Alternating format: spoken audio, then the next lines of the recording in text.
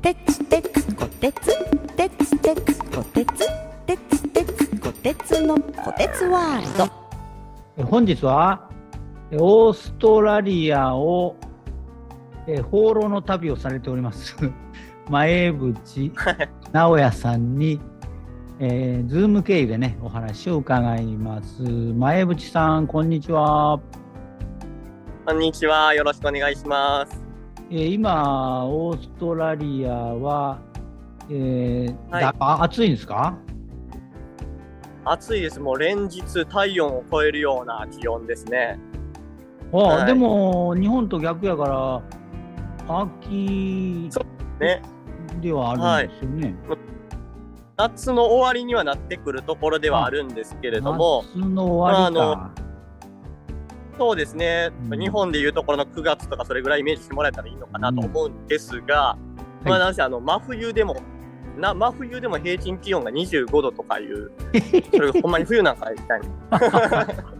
あのちなみにあの今いる場所はオーストラリアでいうところのどのあたりですか？えっと、北東部になりますね、コインズビルという町なんですけれども、コインズまあ、ビル。田舎町です。はい、田舎町です。えっと海沿いの東海岸ボウエンという町から内陸に90キロほど寄り道したところですね。ああじゃあ、あのえー東海岸というと、ちょっと地図上でいうと、オーストラリアのニュージーランド側って言ったらいいんだいいのかな？あそうです、そうです。ね、はいえっと有名どころで言う、まあ、大体市街地が東側、南東部に特に有名なシドニーとか、はいえーゴールドコーストとか、そういったところがあるんですけども、はい。えー今回、オーストラリアの旅はシドニーをゴールに目指してまして、で、スタートを北東部のケアンズというところからスタートしてます。はい。うん。で、シドニーに着くのが7月、7, 7月頃の予定で。で、そこから、えー世界一周をするつもりですので、アラスカに飛んで、北米、南米、ヨーロッパ、アフリカ、で、インドとか東南アジアを経由して、中国、上海をゴールというプランで3年以上の計画を立ててます。ドヒャー でございますが。えじゃあ、まあいいや、南国のオーストラリアから一旦、えー北上して、またこれまた寒寒いとこ行かれるわけで、またその話はおいおい、あの追いつきながらあのお話をね、お聞きしたいと思いますが、えーまずあのラジオの皆様、あの前淵直哉さん、何者じゃいなと思われる方がいらっしゃいますので、あのはい前淵さんは、あのー今は、あ、今何歳ですか？今29歳ですね。あ、なるほど。えーで、はい。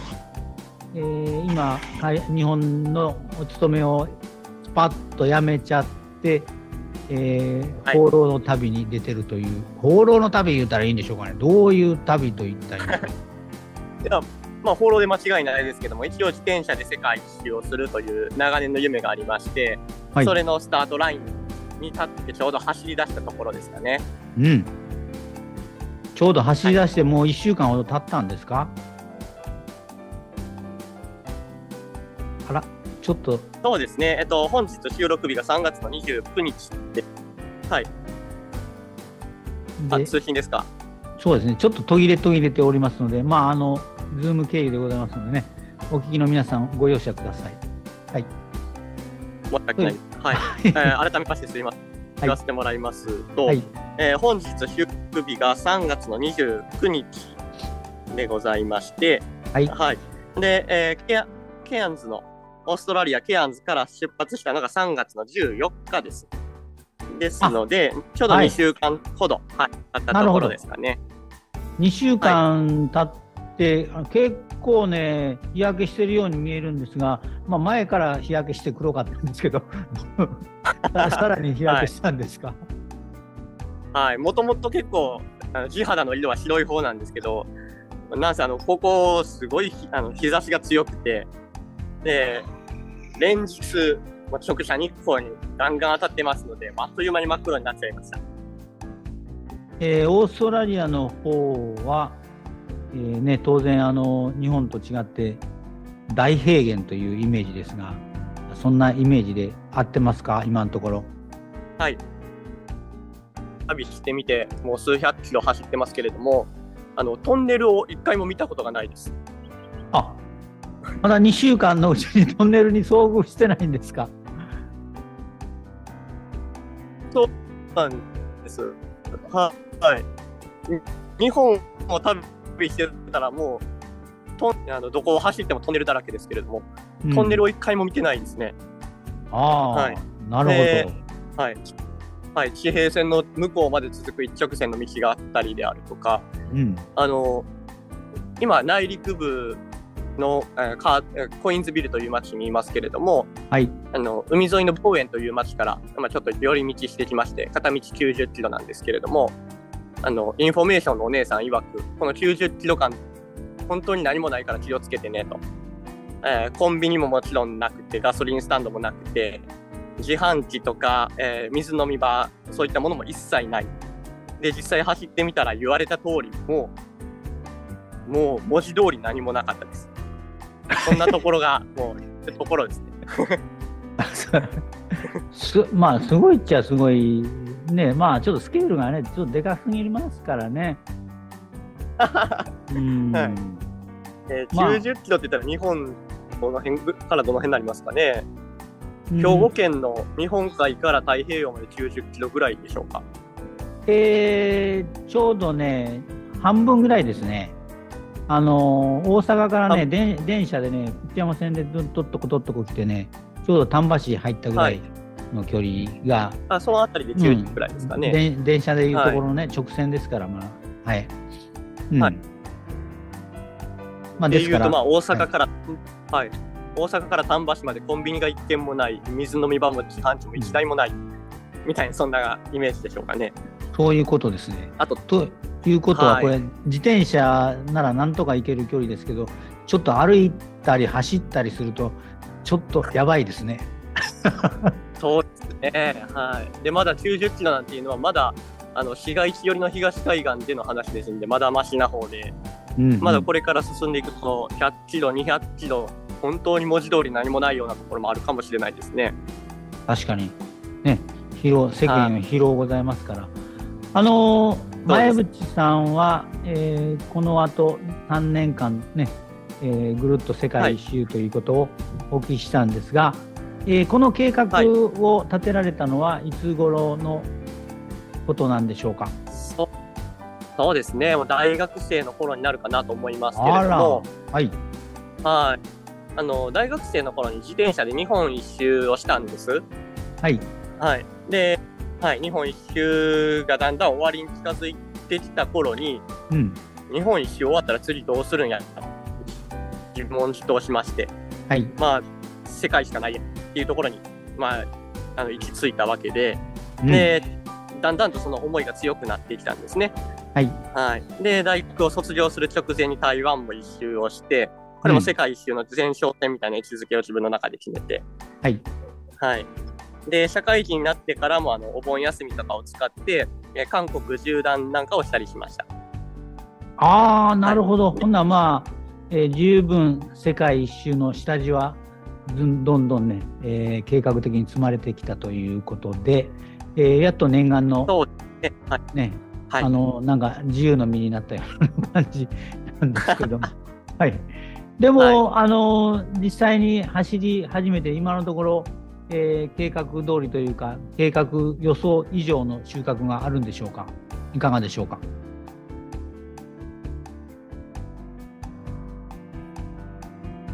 ん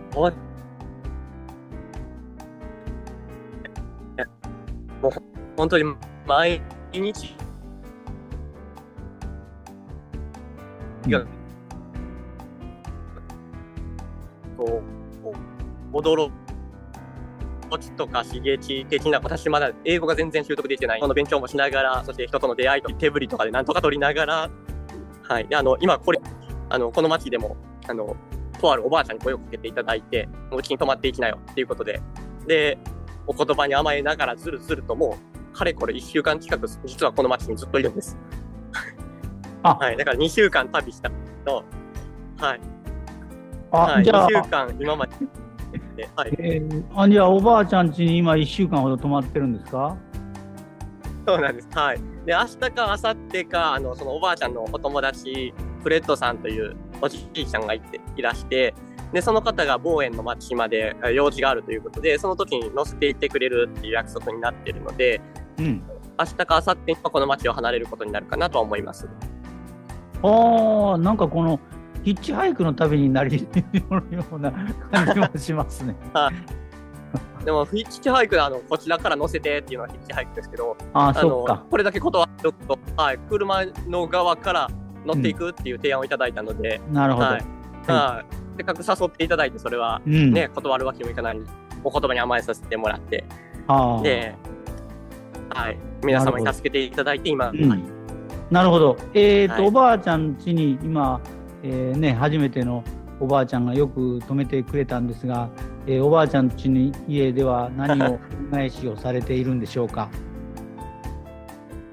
いやーもう何から何までおばあちゃんにしていただいてばっかりで、本当にもう感謝感謝でいっぱいなんですけれども、えーまあ、ささやかながら、まあ、私、あの、もともと中学校で美術教師をしてたので、あの、似顔絵を描きしてプレゼントしたのと、あと、あの、折り紙で折り鶴を折って、そちらをプレゼントしたら、大変喜んでいただいて、ああ、はい。おはい。折り紙すごいいい文化やなっていうのを改めて思いましたね。なるほど。さすがにあの世界に誇る日本の折り紙文化。これやっぱり折り鶴はもう必須で、ね、折れるようにしてい海外行かないとダメですね、日本人は。そうですね。はい。つる、つると紙飛行機ぐらいしか折れないですけど、つる折れててよかったってすごい思いました。ああ多分ね、鶴は世界どこ行ってもなんか受けると思いますね。うん、はい。で、このおばあちゃんがあのガーデニングであったりとか、動物もすごいお好きなおばあちゃんなんで、特に喜んでくれましたね。ああ、よかったですね。まあ、最高の。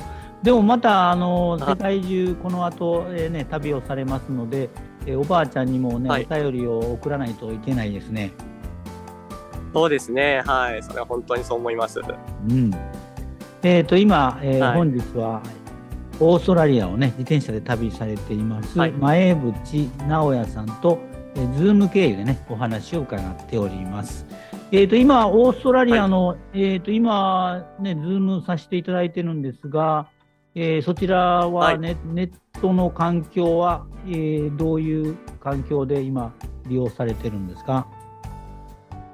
私、あの、世界一周中3年以上にかけてですけれども、フリー Wi-Fi のみで、えー通信環境をやってまして、現在もあの、町のコミュニティセンター、そこの Wi-Fi を使わせてもらってるところです。なるほど。えー今、はい屋外のようですが、えーラジオの方はね、はちょっと映らないんですが、後でこの YouTube でアップさせていただきますので、えーちょっと周りの景色見せてもらってもいいですか？はい。実はあの、ここ、屋外でして、はい。背景に映ってるのはコミュニティセンターの壁ですね。はいはい。はい。ここは駐車場で、周りにはもう、うんはいなんというか、めっちゃくちゃ広いな。広いあはい。あー、これは本当なんとなく、これやっぱ日本にはない景色やな。すごいね。これまはた駐車場もめちゃくちゃ広いね。いめちゃくちゃ広いですね。あと、あの、おばあちゃんのお庭のガーデニングのお手伝いなんかもしてるんですけど、はい。それもまた広いんで、あの、テニスコートの一つや二つぐらい簡単に取れそうな、それぐらいの面積はありて。あ そうか。ちょっと日本の仙台とね、庭先というイメージじゃなくて、まあ、本当にはいなんか公園の一部がの中に家があるっていうな感じですかね。うん、いやー、公園というかもう、幼稚園のグラウンドぐらいのイメージでしょうかね。あなるほど。すごいですね。はいあ。えー今日はね、あの本当に広いです。えーオーストラリアの方も今、天気がなんかいいみたいですけど、雨に降られたり、えーお風があったりということは今のところないんですか？えっと、オーストリア、地候的なところで、あの、雨がかなり少ないみたいですね、もともと。で、連日晴れです。毎日毎日晴れで、ただ、あの、時折スコールっていうんでしょうかね、あの、短時間の猛烈な雨が降ることはありますね。はい。うん。なるほど。えーほんならまあ自転車の旅としては割とやりやすい感じですけど、でもなんか暑そうですね。はい。めちゃくちゃ。はい。で、時折す降るその、えースコール、大雨も、もう体がほてりきったところですので、もうずぶ濡れになって、むしろ気持ちいいぐらいですかね。あそっか、まあ、シャワー浴びてるような感じですね。はい。はい、えーそれでは、えー本日ね、前淵えー直哉さんとね、オーストラリアからね、お話をしております。前淵さんの方からリクエスト曲をお聞きしておりますので、ご紹介していただいてよろしいですか？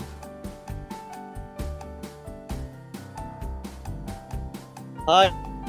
えっと、私が大好きな自転車乗りながらもスピーカーでかけたりしてるんですけれども、えー、グレートジャーニーという曲をリクエストさせていただきます。はい、はいではおかけします。はい、えー本日は、えーオーストラリアを自転車旅行されております、えー前淵直哉さんとね、ズーム経由でお話を伺っております。えーオーストラリア到着から、えー2週間経ったということでね、えー日本の皆様へメッセージがありましたらよろしくどうぞ。はい。えっ、と、私もともと中学校の方であの美術教師をしておりまして、で、昨年それを退職して世界一周の旅に出かけたところでございます。で、あの、子供たちに教師時代よく伝えていたのが、えー夢を持てよとか、夢を持つことって素晴らしいことだぞみたいな、そんな話をずっとずっとしておりまして、で、この度、いよいよ自分の夢を実現するために、えーようやくその夢のスタートラインに立って、走り始めたところというところで、えっと、まあ、ちょっと偉そうな言い方になってしまうかもしれないですけれども、あの、私の大好きな言葉で、ネイティブアメリカンの言葉らしいんですけれども、千年生きるつもりで夢を見て、明日死ぬつもりで一度っていう言葉があるんです。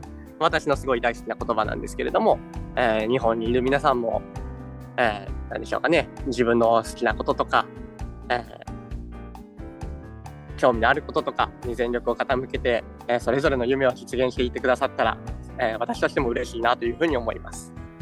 はい。ありがとうというございます。形でよろしいですか。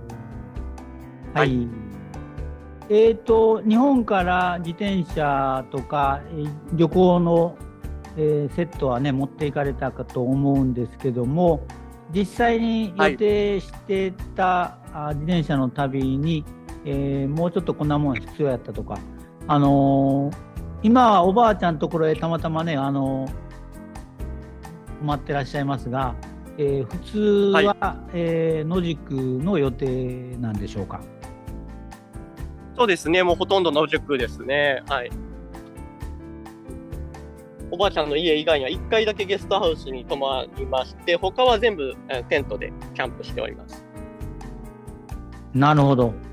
あのーはいキャンプはオーストラリアはなんかその辺めちゃくちゃ広いんですけど、やっぱり指定の場所っていうのがあるんですか、そうなんです。意外とそこが厳しいところでして、あの、キャンプ場以外で、例えば公園とかで勝手に野宿をしてると、しっかり警察に摘発されるらしいですね。で、そのキャンプ場を探しながら、えー旅をしてるような状態ですね。うん。キキャンプ場からキャンプ場の距離も、はい、150キロとかざらにあったりするので、あ そうか。はいであの、はいそこで、えー、と調べてネットで予約もしくは電話をするというような感じでいいんですか？そうですね、予約は特にしたことないんですけども、あのまあ、無料のところばっかり使ってるので、うんうん。あそっか。ほんならまあ行って、はいあの止めてねっていう感じでイメージしたらいいんですかね。うんそうそうですね。えはい、管理人の人も、まあ、いたりな、なかったりとかで、うんはい、特にもうそんな感じですかね。出ますでしょうか。はいはい。はいなるほど。はい。あちょはい。あの、なんかちょっと途切れ途切れですがね。まあ、あの、なんとか聞こえております。大丈夫です。はい。よかったです。はい。いえいえ。あの、えっと、ということは、あの、キャンプすると、えースマホの充電とかできないと思うんですけど、その辺はどうされてるんですか、そのあたりはあの結構大容量のモバイルバッテリーなんかを持ちながら、うん。あのお昼ご飯レストランとかに入った時にコンセントをお借りしたりとか、えーそういうやり方でちょこまかちょこまかと充電しながら旅してます。うん、なるほど、やっぱりね、あのはい。今の今時ですから、ね、スマホの電池が切れちゃうと、ね、翻訳機能も使えませんからね。